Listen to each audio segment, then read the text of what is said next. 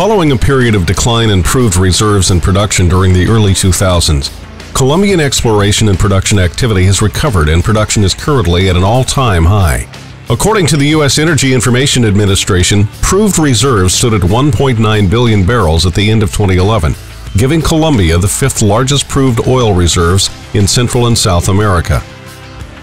The country produced over 930,000 barrels per day in 2011. This represents a more than 72% increase over 2005 production numbers. The resurgence in production growth can be attributed to two main factors the reorganization of the sector and improved security. The reorganization of the sector dates back to 2003, when the National Hydrocarbons Agency, or ANH, was established as a response to decreasing reserves.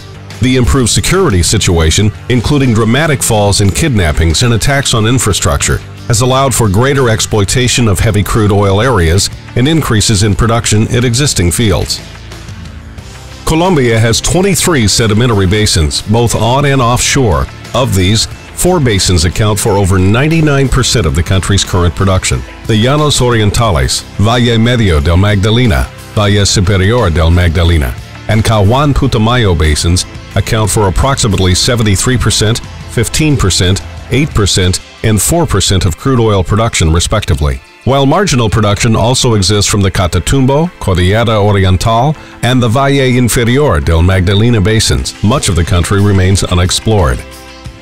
The great opportunities, eh, and because there are so many geological basins that has been unexplored, not only is Colombia poised to break the 1 million barrel per day mark in 2012, but production is also set to grow substantially during the rest of the decade. And we'll continue increasing production. Between oil and gas, we should be around 1.4, 1.5 million barrels per day uh, by 20, the end of 2014. So I think uh, this is going to, to, to bring a lot of positive things to the industry.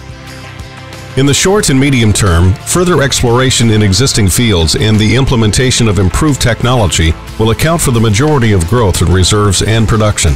The best opportunity that uh, we have in the, in the energy sector in Colombia are distributed between exploration and technology. Significant resources are being expanded on exploration, with the total investment in drilling expected to come in at $770 million in 2012 alone. The number of exploratory wells drilled in the country has increased more than threefold from 35 in 2005 to 126 in 2011.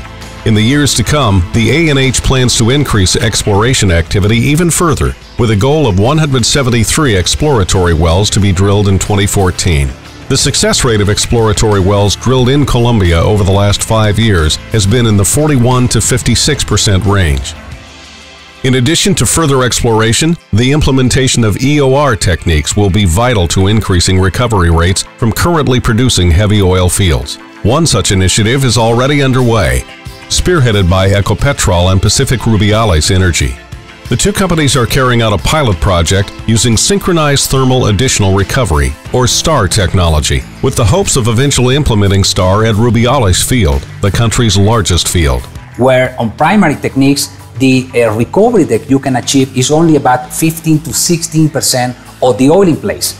Through the implementation of this uh, STAR technology, we can increase the final recovery of the field all the way up to 45-50%. Technology and further exploration of existing basins will account for the majority of near-term growth, but the long-term growth prospects lie in the large parts of the country that still have not been explored.